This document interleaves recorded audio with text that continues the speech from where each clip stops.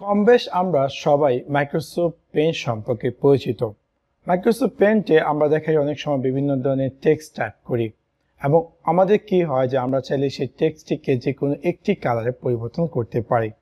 But আজকে আমি আপনাদের সাথে শেয়ার করব একটি সিম্পল ট্রিক ফলো করে আপনি চাইলে যে কোনো টেক্সটকে মাল্টি কালার বা কালারফুল একটি টেক্সটে রূপান্তর করবেন।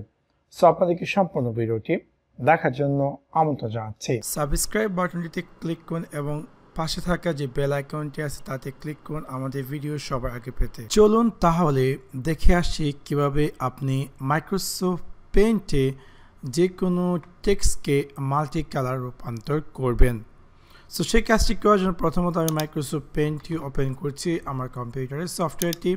অ্যান্ড দেন এখান থেকে আমি যে কোনো একটা পেজ সাইজ করে নিলাম, যেমন এরকমটি নিয়ে নিলাম পেজটির সাইজটি অ্যান্ড দেন এখান থেকে আমি একটু জুম করে নিলাম এখানে আমি টেক্সট চুজ করে আমার যে টেক্সটটি আছে সেই টেক্সটটা আমি এখানে টাইপ করব সো আমি এখানে টাইপ করলাম T E C H space H E L P space sorry tech help space Bangla আমার চ্যানেলের নামটি আমি নিয়ে দিলাম এখানে অ্যান্ড দেন আমি লেখাটিকে এভাবে একটু নিচে নিয়ে আসব লাইক এটাকে আমি এরকম করে নিচে নিয়ে মানে মিডিয়ে নিয়ে আসলাম অবশ্যই আপনাদের হয়তো বা নোটিস করবেন যে লেখাগুলো এত বড় হচ্ছে কেন বা কেমন বা যখন আপনি চেস্ট ট্রাই করতে যাবেন হয়তো বা আপনার লেখাটি এত বড় দেখাবেন সো আপনাকে কী করতে হবে? একটি সিম্পল ঠিক এখান থেকে আপনি লেখাটিকে সিলেক্ট করে আপনি এখান থেকে আপনার যে সাইজ চাচ্ছেন সেই সাইজ বাই ডিফল্ট এখানে কিন্তু শুধু সেভেন্টি টু আছে। যদি আমি সেভেন্টি টু ক্লিক করি, দেখতে পারব যে আমার লেখাটি কিন্তু অনেক ছোটো হয়ে গেছে।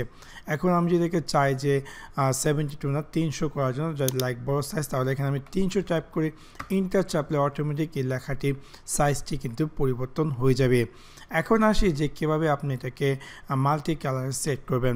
সো সেই কাজটি করার জন্য আমি প্রথমত হোম টেবে ক্লিক করব। ক্লিক করার পর এখান থেকে আমি ক্লিক করব ইরেস ইসে ক্লিক করার পর কালার ওয়ানে যেহেতু ব্ল্যাক দেওয়া আছে, আমি জাস্ট যাব কালার টুতে টুতে গিয়ে আমি যে কালারটি চাচ্ছি, সেই কালারটি চুজ করব। সো আমি এখানে নিলাম ইউলো এবং দেন ইউলো নেওয়ার পর আমি দেখতে পারব যে আমার ইরেসের টুলসটি অনেকটাই ছোটো দেখাচ্ছে এই লেখাগুলো থেকে বা এই পেজটি থেকে।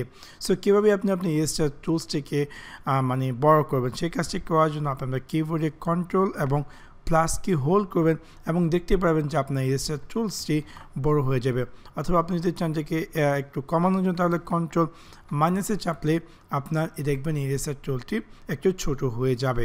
সো এভাবে আপনি আপনার প্রথমত ইরেজার টুলসটি সাইজটি রিসাইজ করে নিতে এখন আসি যে কীভাবে আপনি কালার সেট করবেন। সো কালার সেট করার জন্য আপনাকে আরেকটি জিনিস ফলো করতে হবে যে আপনি আপনার মাউসের যে রাইট ক্লিক আছে তাতে আপনি লং প্রেস করে আপনি যে জায়গাটিতে কালার সেট করতে যাচ্ছেন, সেই কালারটি চুজ করবেন। সো আমি এখানে আমার মাউসে রাইট ক্লিক করে এভাবে এটাকে জাস্ট দিয়ে দিলাম ইউলো কালার অ্যান্ড আমি চাচ্ছি যে আবার গ্রিন কালার দেওয়ার জন্য, তাহলে আমি গ্রিন কালার চুজ করে সেমভাবে আমি আমার মাউসে রাইট ক্লিকে হোল্ড করে এভাবে আমি দিয়ে দিলাম এইটা গ্রিন কালার অ্যান্ড আমি যদি চাই যে এরকম পিঙ্ক কালার তাহলে সেমভাবে আমি পিঙ্ক কালার চুজ করে আমি আমার মাউসের রাইট ক্লিক হোল্ড করে এভাবে নিয়ে আসব। দেখতে পারব যে সেটা আরেকটি কালার হয়ে যাবে।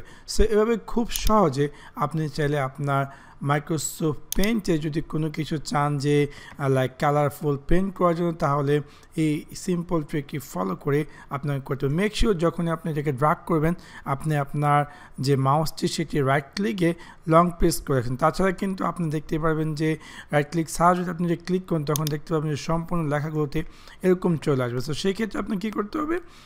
মাউসের যে রাইট ক্লিকে তাদের লং প্রেস করে অ্যান্ড দেন আপনার যে প্রিফেয়ার কালারটি সেই কালারটি অ্যাড করতে পান সো আশা করি আপনাদের এই সিম্পল ট্রিকটি ফলো করে আপনি চাইলে মাইক্রোসফট পেন্টকে যে কোনো লেখা বিভিন্ন কালার রূপান্তর করতে পারেন। সো আশা করি আপনাদের ভিডিওটি ভালো লেগেছে এবং যদি ভিডিওটি ভালো লেগে থাকে, অবশ্যই লাইক এবং শেয়ার করতে ভুলবেন না। Thanks for watch my video see you next one peace